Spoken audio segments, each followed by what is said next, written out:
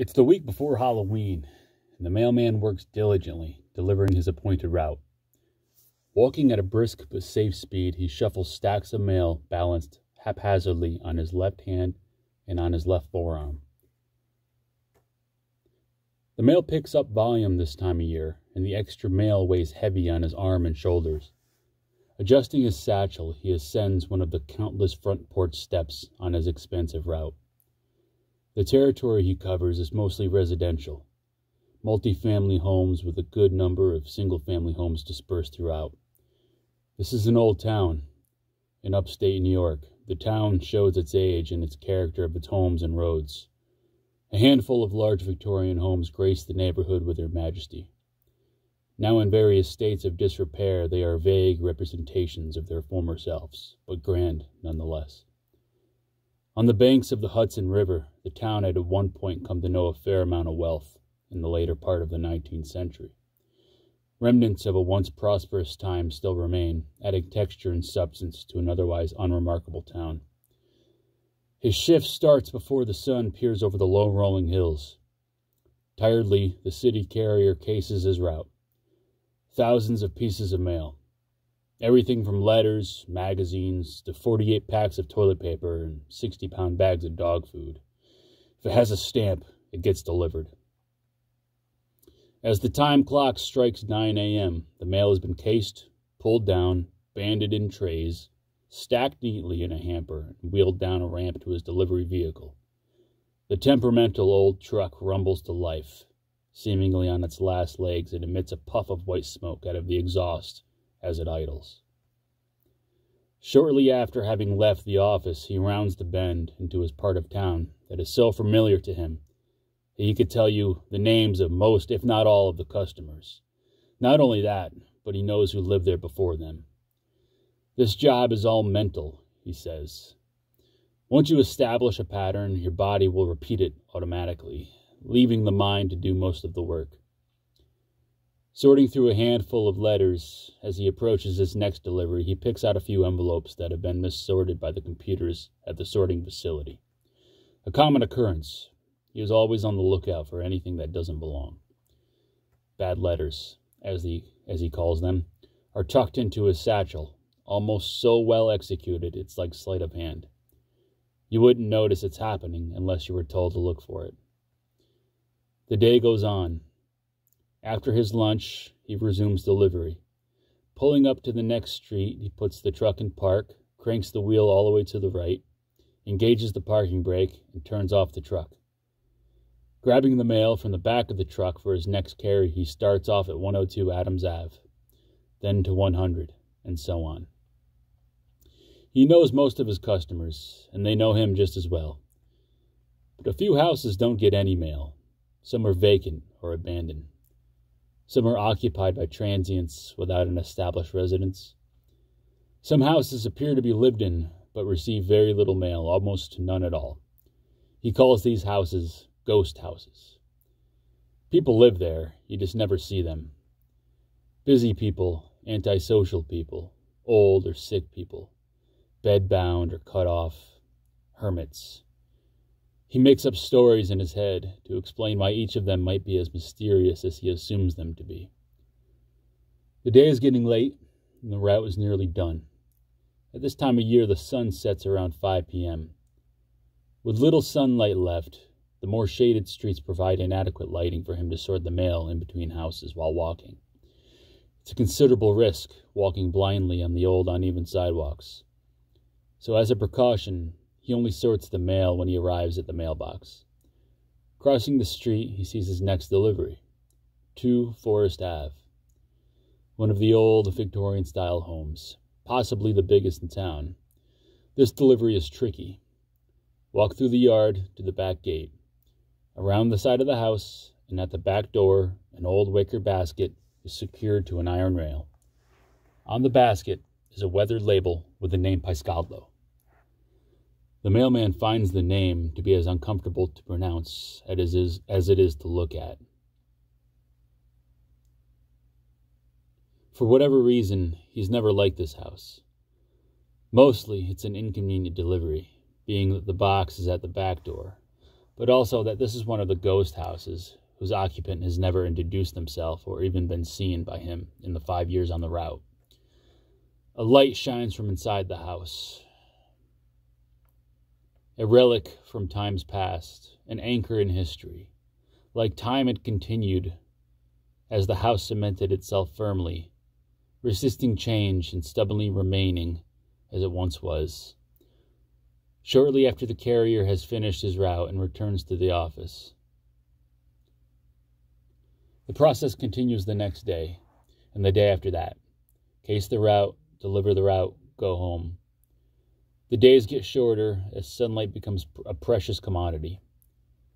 The sun is setting, and at least an hour of his route is delivered in the dark. A flashlight on a headband becomes part of the uniform this time of year. From door to door, in a careful manner, his route is delivered, a letter at a time. Slowly, with an abundance of caution, Many dangers can hide in the dark. He knows this all too well. A gopher hole in someone's front yard can be invisible without the sun's light to expose the hazard.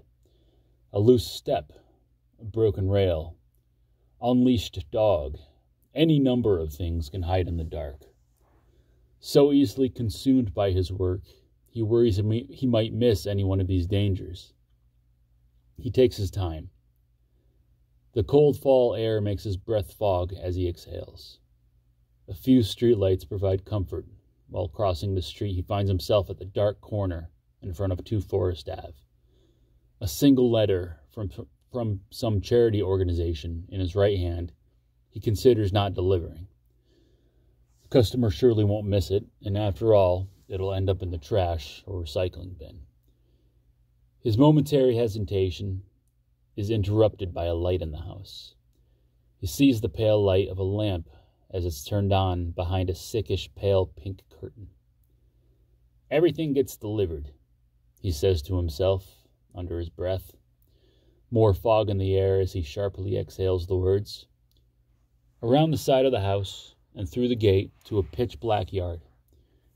His headlamp leads the way, eyes focused on the wicker basket 40 feet in front of him. His headlamp, long strides through the overgrown grass make a swishing sound. Boots on cold, damp earth. The fabric of his pants rub together. Heavy breathing, in and out, fill the silence of the land. Dropping the letter and pivoting around to go back out the way he has come. His eyes watch for a moment the light in the kitchen. A bulb hangs from the ceiling, casting an uncomfortable light in an otherwise dark house. Out the gate, through the yard, as he passes by the window with the pink curtain and the lamp. A small gap in the curtain has his interest as he looks through it innocently as he passes by. Distracted by curiosity, a noise goes unnoticed, but quickly comes into focus, as just then a familiar rattle of a dog's collar speeds closer from behind. His heart reacts before he does, pumping blood violently. The thud in his chest feels like the gravity of the world had come to rest on his heart. Reactively, spinning around to assess the threat, he locks eyes with a fast approaching pit bull. Small but quick, it gets to him just as he acquires his pepper spray and targets the dog. A spray to the eyes and nose sends the dog, confused and in pain, backstepping and licking its jowls. The mailman yells, Get out of here! And the dog responds with a hasty retreat. Defeated and blind, the dog bis- disappears into the night. Heart pounding, but grateful for the outcome, the mailman picks up some letters he dropped off the ground that had fallen in the heat of the encounter. The pale light from the window shines out directly on the lawn where he stands and where the letters fall- have fallen. Gathering up the letters down on his left knee, the light from the window flickers and fades, then comes back Standing up, he looks through the window at an old face just behind the curtain, looking back at him. Odd. Well, now I know what Miss Paiscaldo looks like, he thinks. She must have heard either the dog or I and come to the window to see what was going on. He gathers himself and stares back at the face behind the curtain. A small, kind face, expressionless and wrinkled. I raise my hand and wave, I say, Sorry for that. A dog came out of nowhere. Before the sentence was complete, she turned around and switched off the lamp, leaving him in, in her side yard talking to a dark window. He chuckled and shook his head. Shut in, he says as he walks away down the street, now more cautious than ever. The next day, the day before Halloween, vibrant fall colors contrasted with a stark gray sky. A cold day, colder than normal. His hands hurt the, from the sudden change in temperature. The tips, tips of his fingers are numb, making his job just that much more challenging. While loading the truck in the morning, he talks to a coworker about the near dog attack that he experienced and about the old lady in the window. His coworker mentioned that the lady that lives there must be over a hundred years old. The other carrier said, She was old when I started 25 years ago. Now she must be ancient. They laughed while they turned away from one another and went back up the ramp into the office. Later that day, out on his route, he made good progress despite the mail volume. Because he was doing so well, he had enough time to talk casual conversation with a few customers. Most customers talk about their lives, their previous hardships, and things that came to be. They talk of the weather and current events. Did you see what the president did now? belted out Miss Warrington while she walks her small, fluffy dog, the breeze blowing her gray and brown hair straight back on her head. A breeze so strong it makes your eyes water and your cheeks flushed. No mail for 2 Forest Ave, and he is thankful. He doesn't even look at the house, not out of fear, but out of suspicion that he's being observed from within by an old, by a century old homebody. Almost as if out of respect for her, he just averts his eyes and moves to the next house. It's Halloween, this day for a mailman is like any other, except there is an off chance you might get some candy from a few of your more thoughtful customers. Like any other day, he repeats, he repeats his task autopilot. It's all instinct. Sometimes an hour will go by and he has only a slight comprehension of delivering any mail.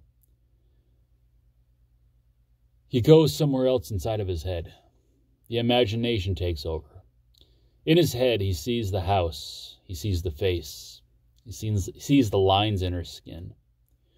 He sees the loose flesh under her chin as it hangs low and casts awkward shadows. He sees all of this while maintaining accurate deliveries and somehow not getting hurt. Piles of leaves and pumpkins, fake cobwebs and corn stalks.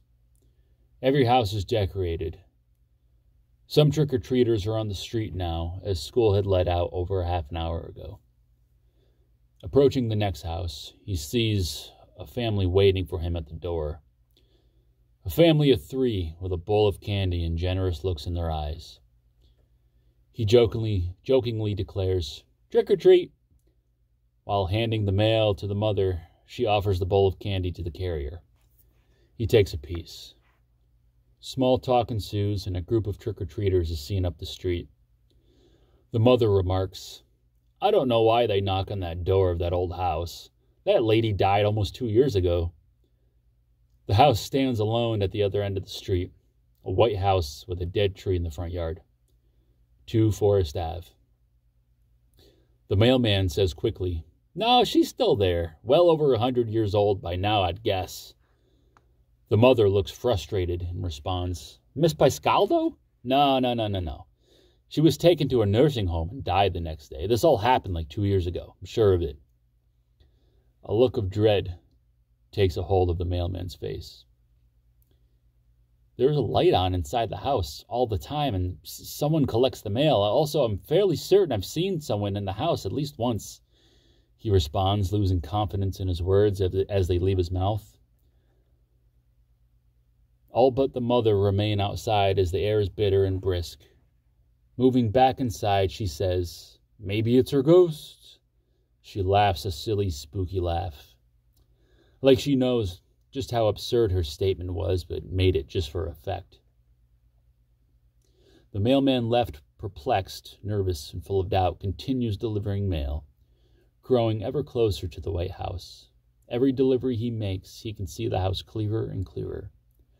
The sun is dim behind the clouds, and the sky's pale light makes no effort to put the mailman at, at ease. It's just dark enough to see the one light bringing life to an otherwise dead house, a ghost house. Eerie, he thinks, strange that he can see the light from down the street. He looks down at his letters and in, in his hand and fingers through to see if there's any mail for 2 Forest Ave. Yes, there is.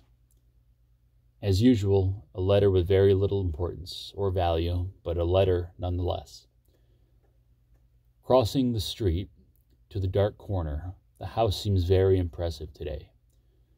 Four stories tall, a huge wraparound front porch window, windows that stretch from floor to ceiling, Alongside the house, to the left, is a path to the back gate.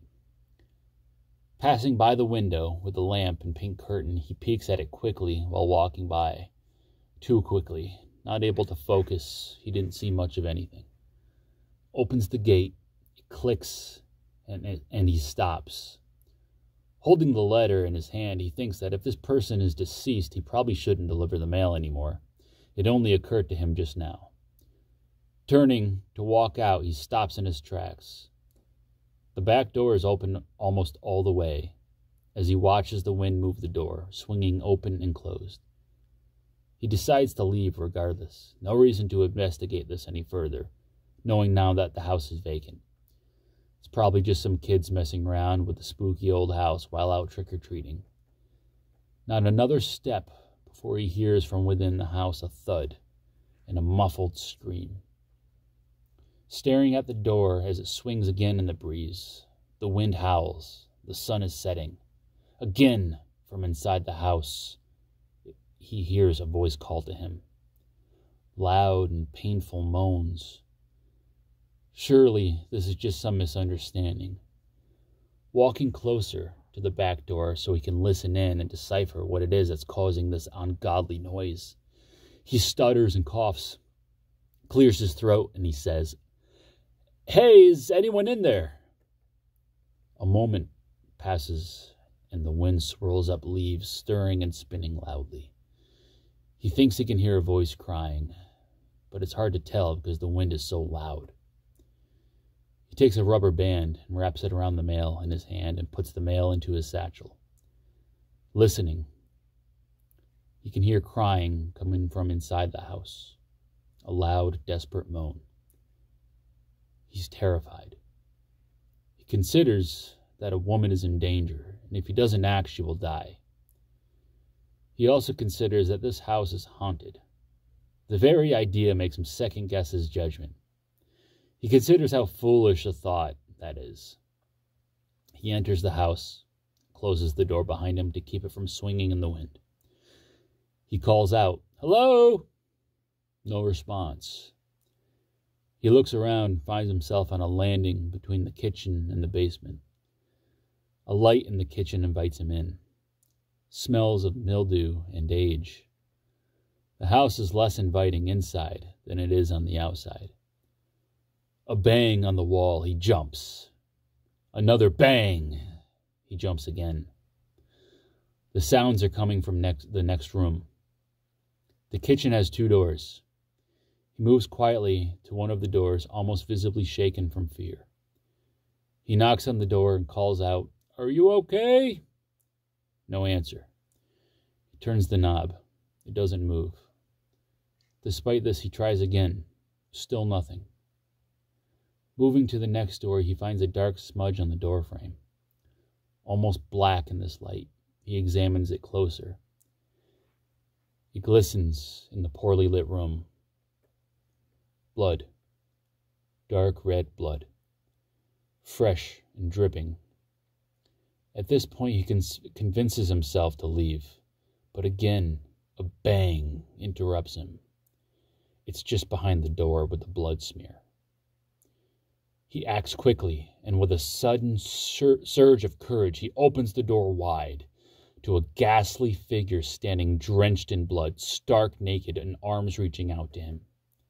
The mumbling ghoul bubbles and spurts up blood from a wound so severe in its throat that you can hear the air moving in and out of it as it tries to breathe. The mailman pauses in horror, paralyzed. In a fear induced living coma, he bears witness to the sight as it steps a shuddered step towards him. As if it had broke him somehow, he can't act. Not until it steps once more into a better light and he sees it looking at him. It's lifeless, and yet it's right there. A bloody mess of a walking corpse. With bony hands reached out, the ghoul tries to grab the mailman. Almost reactively, he snaps out of it and connects his right fist to the ghoul's head. Slam! It falls down. Blood pooling. A lifeless gasp of, for air from the windpipe. A silence takes over the room. The howling winds have stopped, and all that remains is a ringing in his ears. Piss runs down his leg, and he draws in air in a sudden, desperate gasp.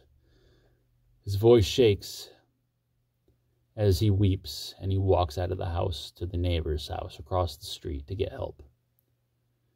He can't explain it logically, so he insists that the neighbors come with him and they call the cops. The neighbors ask him What's wrong with Miss Piscaldo? He thinks for a minute and says with doubt, She died two years ago, almost phrasing the statement as if it were a question. The people who live across the street explained to him that, Miss that the Piscaldo sisters lived there together. All of their lives they lived in that house until one had fallen ill and died after being removed to a care facility. The one that had remained in the home, 109 years old, and living there independently with the help of neighbors and whatever family that, that had remained. The mailman says through tears as the first responders arrive, What I saw in that house, I think, I, I mean, it, it wasn't alive. The mailman watches the, the family watches the mailman weep as they moved from inside the house to the front yard. Dozens of people now gather at the house with the ambulance, fire trucks, and several police cars, lighting up the dark house on the dark corner.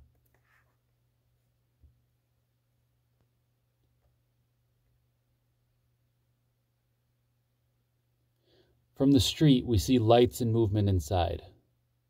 So strange to see life in this dead house. After some time, they come out with a stretcher, draped in white cloth. No one's in a hurry to depart once the gurney is loaded. They remain on the scene, and the focus turns to the mailman. He explains what happened and describes who or what he saw inside as best as he could. He said that the fear made him think that what he saw was a ghost or something like it. The police are suspicious and they take him in for further questioning.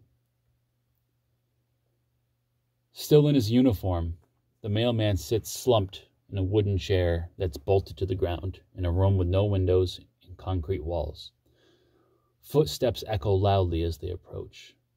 The door opens to reveal a host of detectives and investigators. Over the next few minutes, more details are revealed about what the mailman was doing in the house and why he delivered a fatal blow to the skull of a 109 year old woman. Come to find out that the Piscaldo sisters were the wealthiest people in town at one point. During the 1940s and 1950s, they made millions in local real estate development. In the post war boom, they had amassed a wealth of over $30 million. That home on Forest Ave had at one point been the most luxurious mansion in the whole state. Besides himself, beside himself, the mailman insists that he heard cries from, for help from inside the house and only entered the house to investigate. He said that it was when he entered the living room he found what appeared to be a grotesque and disfigured ghost. The detectives hung on his every word, jotting, jotting down notes and pleasantly engaging in his narratives of the events that have transpired.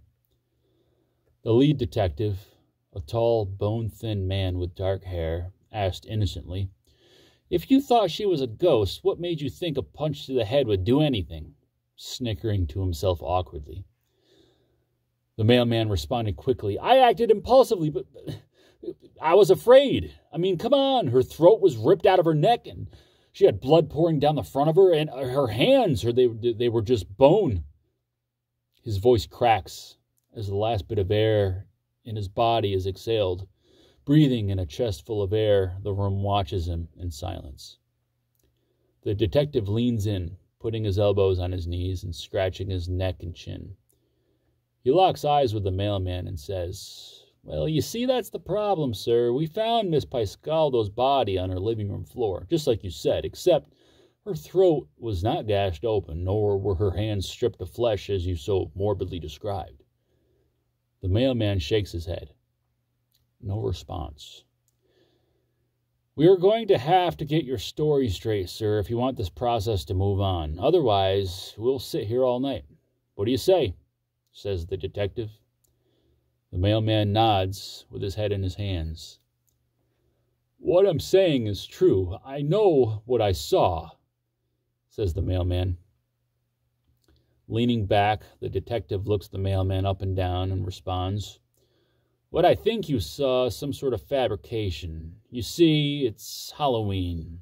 Ghouls and goblins are running around the streets from house to house, and here you are, working long hours, maybe pushing yourself in bad conditions, and it's possible that your imagination has betrayed you. Perhaps the stress combined with fear and panic caused a momentary delusion. I mean, I'm I'm no psychoanalyst, but I, I've seen this type of thing before. People can be pushed only so far, and if they're backed into a corner, the mind does crazy things when it's confronted with what look what can look like a threat. A pause as the words are left to digest. The, de- the, the, the detective continues Also, I might add that you are the mailman, and you would know a certain intimate detail concerning Miss Paiscaldo's wealth and age, wouldn't you? The statement is cast out like an anchor, and the chain is fixed on the mailman's conscience. Another pause. The buzz of the fluorescent lighting hums over the room and agitates an already palpable environment. Standing to his feet, the detective says loudly, We've got all night. Think it over. We'll be back in a few hours. The men shuffle out, and the mailman looks to the floor with a faraway gaze, pushed to his limits, and so full of self doubt he questions his very existence. A year later, Halloween. The new mailman moves quickly from house to house on his new route. All the customers stop to tell him about the old mailman and how he killed that old lady in her home. The new mailman doesn't like the stories, but listens anyways, trying to be nice to his new customers. He passes that house every day and never never delivers any mail. Windows and doors boarded up, an overgrown lawn with weeds and grass at eye level, Caution, tape, caution tape still hung on the front door. After all this time, the house had remained just as a as haunting as it ever was. A dead house on a dark corner. A moment in time, preserved as it decays and fades into a lesser form. One of many houses that had been left to rot long after the ghost that lived within had known that they were dead. A ghost house.